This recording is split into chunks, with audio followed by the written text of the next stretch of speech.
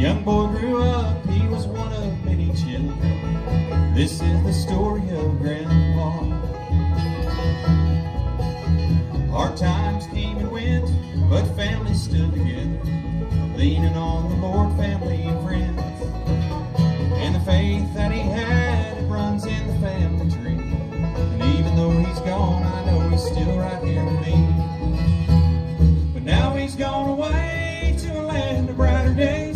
days. He's waiting over on the other side.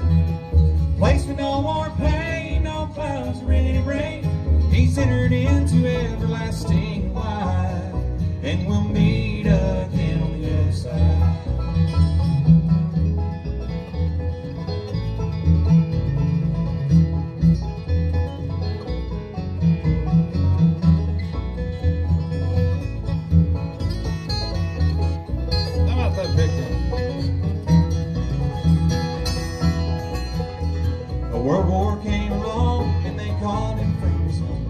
He left behind a son and a wife. Their marriage it was strong and she prayed he'd make it home. God heard her dear prayer and divinely spared his life. Soon a daughter she was born, she was daddy's little girl. He found a job to help provide a home. And he worked hard every day, but he still left time to play. And every night at prayer time, he would gently lead them on.